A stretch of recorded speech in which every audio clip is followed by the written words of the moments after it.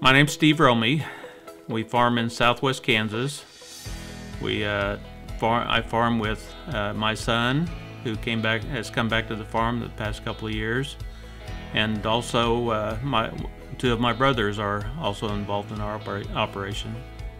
My dad and his brother started farming in southwest Kansas in uh, 1953, and my brothers and I took over the farm in the early 80s. We have uh, six full-time employees that are also involved in the in the farm. Well, probably the main reason we raise corn is because it's the most profitable crop that we can that we can that we raise. Uh, so, uh, like any job, uh, profitability is important, and the dollars you receive for that product are important.